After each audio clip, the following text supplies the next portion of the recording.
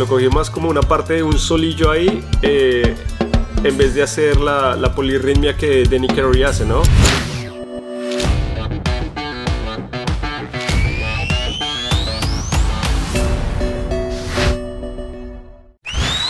Hola, hola, ¿qué tal amigos? Saludos y sean bienvenidos a esta nueva edición de Hablando Drums. Yo soy Javi Vanegas, Javi la batería. Y si no lo has hecho aún, la invitación es a que te suscribas a este canal, le aprietes ahí a la campanita y pues compartas este video con todos tus amigos si aún no lo has hecho.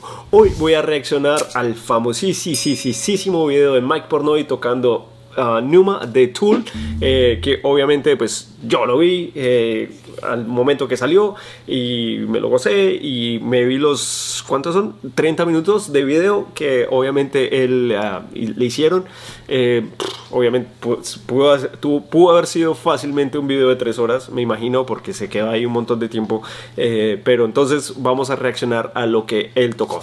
Entonces, eh, obviamente, como ya lo dije, yo ya lo vi, no es una reacción a primera vista, sino ya yo ya sé lo que se espera y tengo algunas cosas que me gustaría compartir con todos ustedes. Entonces, pues no hablemos más y pues empecemos de una vez con esto.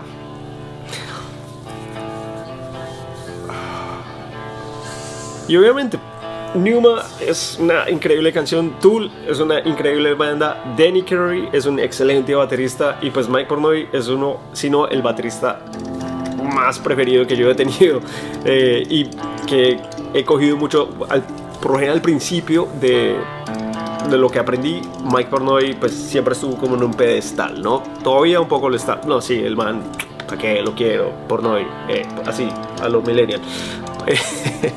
bueno, vamos a esto. Obviamente Pornoy aquí no tiene los pads eléctricos que tiene Danny Carey, entonces está tratando lo mejor de hacer pues estos sonidos eh, como de tabla que hace Danny. Eh,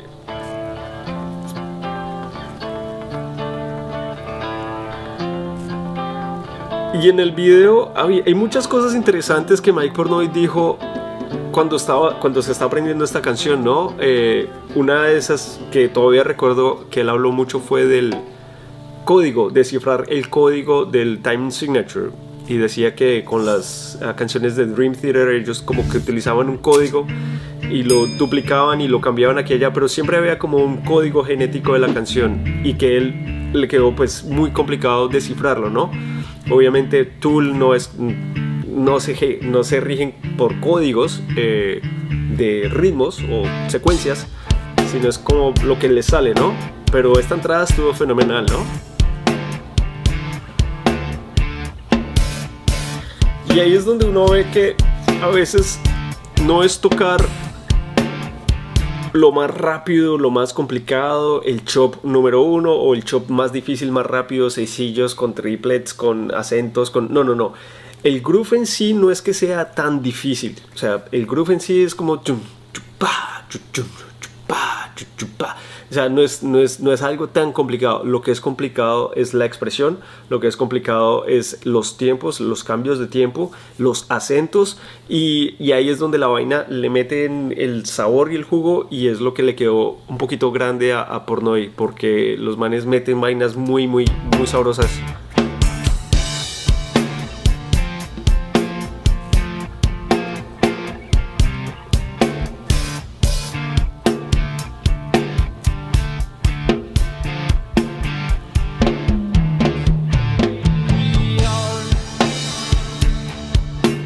Resuelve muy bien, ¿no? Por no, y también su, su sentido de, de, rítmica le hace saber dónde están cayendo los acentos, ¿no? Aunque son compases irregulares.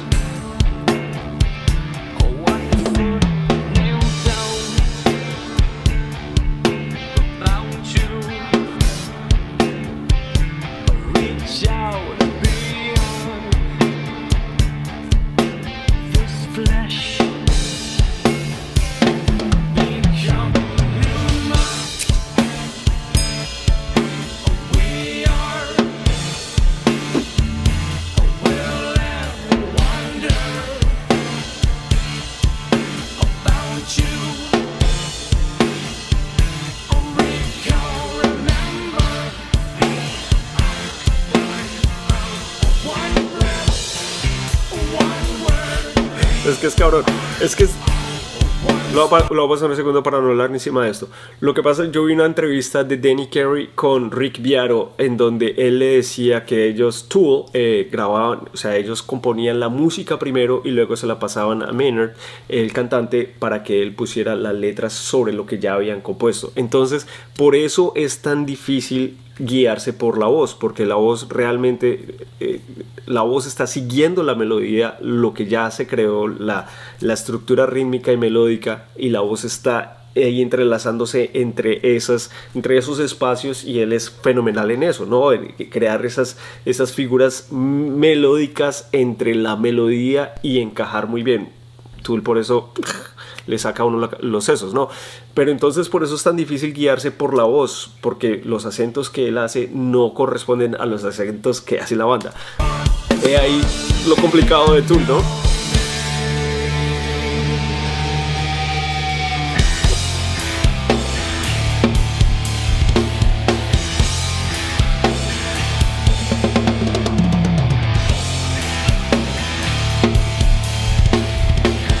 Igual él la está tocando. Está tocando la canción, pero a lo Mike Pornoy, ¿no? Con sus feels Mike Pornoy. Estos. Estos son feels Mike Pornoy.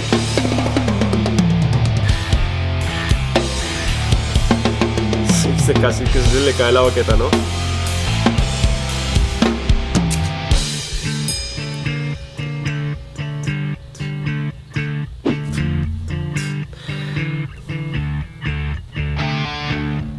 Like.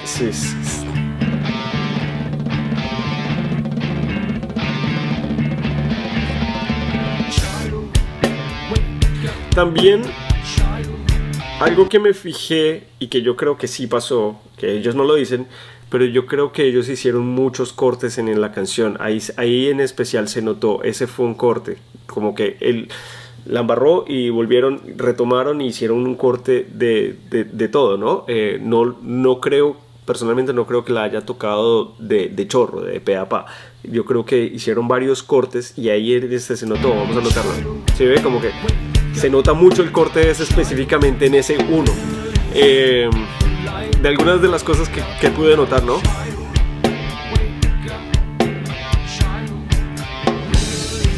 Increíble. El tipo está contando ahí con. Se le ve en la, en la boca que está contando los measurements, ¿no?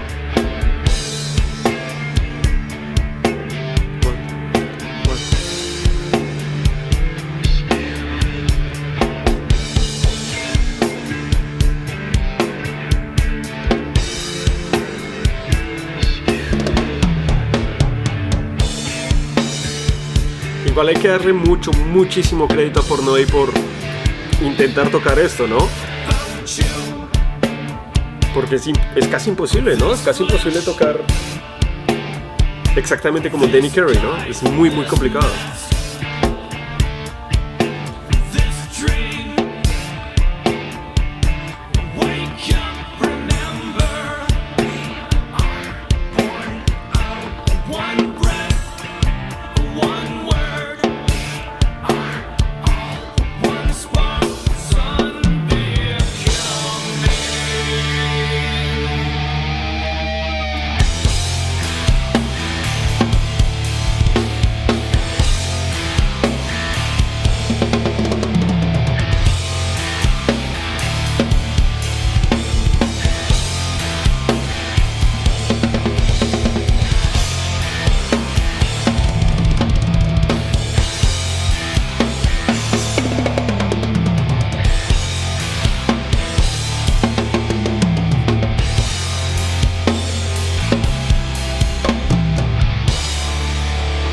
Sí, por no ir, por no ir lo hace, lo hace, y lo hace ver sencillo, ¿no? Aprovechemos la propaganda para pues, eh, decir eso, ¿no? Que, que, aunque se ve que está contando y que está sufriendo y que está tratando de, de, hacer lo mejor posible, se le ve ciertamente relajado tocando estos patrones rítmicos que son sumamente complicados, ¿no? Eh, tocar de pronto un 7 eh, es sencillo, ¿no? 1, 2, 3, 4, 5, 6, 7, 1, 2, 3, 4, 5, 6, 7, 1, 2, 3, 4.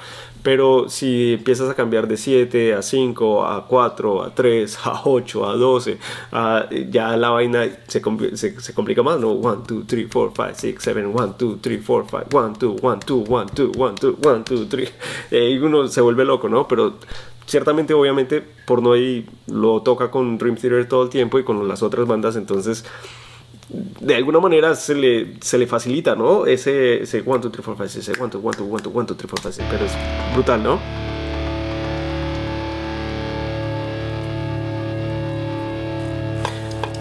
Igual yo creo que a él le colocaron el metrónomo. Eh, debe tener algún tiempo él un clic, un tipo de clic. Eh, porque hay partes que es muy, muy difícil, ¿no? Si la batería no está presente, digamos, eh, ahí se les escuchan las tablas de, del que hace Danny Carey, ¿no? Que las hace en vivo, ¿no? tan, tan, tan, tan, y es donde empieza a hacer ya las amalgamas y la vaina toda. Esto que está haciendo por no es brutal.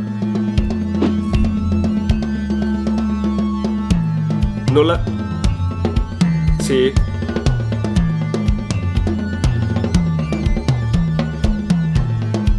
en la vida, en la, en la, la realidad, Danny Carey hace una amalgama un poquito diferente que, que sigue acá tan tan tan tan tan tan tan tan tan tan tan y empieza con el bombo a hacer la partición esa de 3-4, ¿no?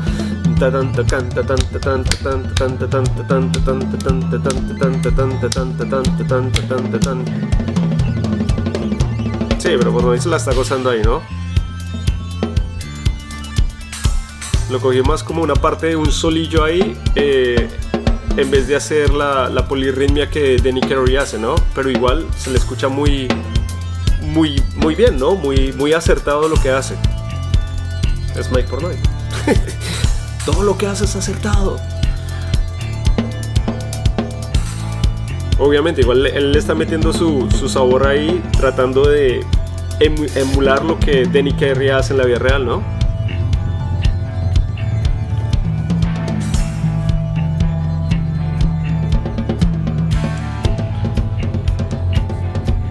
Porque aprenderse, que es algo que, lo voy a pausar un segundo, para que, algo que yo le explicaba a mi esposa cuando estábamos viendo el, el porque lo vimos juntos, ¿no?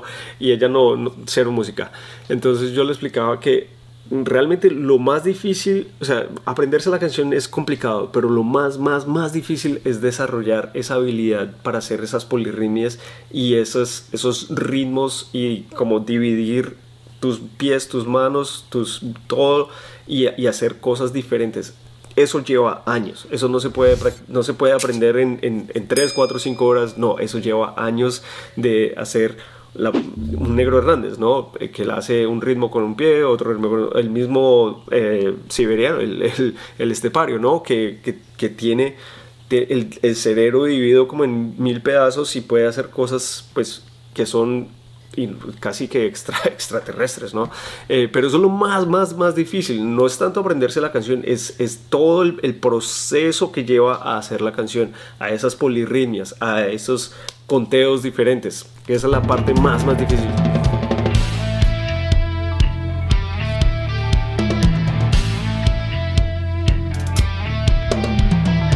Igual Pornoy lo está haciendo fenomenal, ¿no?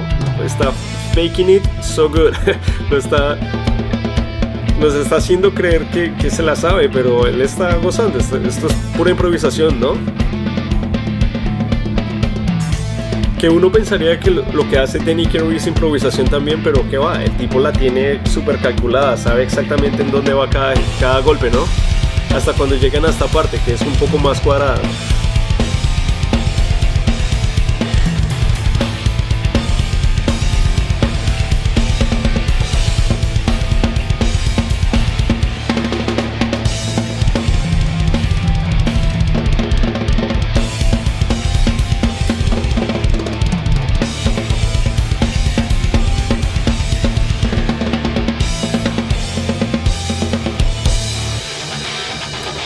Esta parte es fenomenal. Esta guitarra suena brutal, me gusta mucho.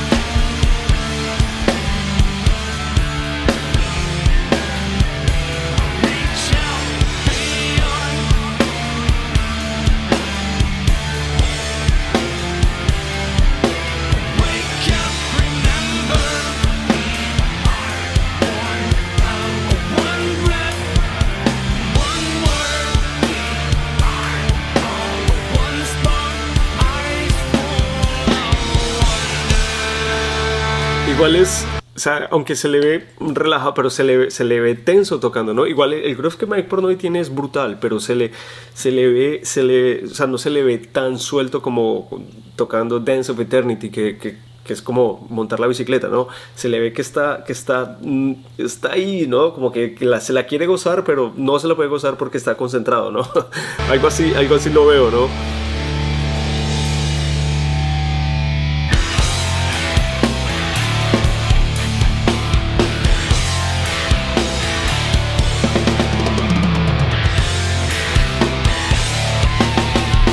Digamos esta parte que es un poco más cuadrada, pa, pa, pa, como que se le, se le facilita aún más y por eso puede hacer estos fills, puede jugar un poco más sobre la, la, el fundamento de la canción porque es un poco más cuadrado, ¿no? Ahí es donde se le ve un poco más suelto y, y, y bota su, su, su, su, magia, ¿no? Mike Porno y magia. Estas partes.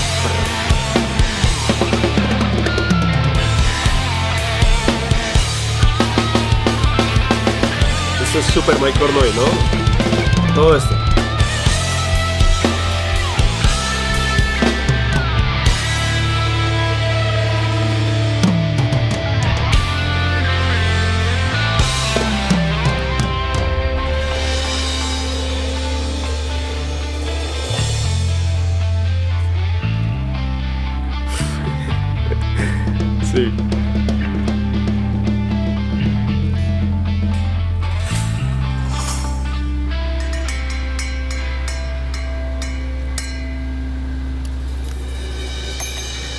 520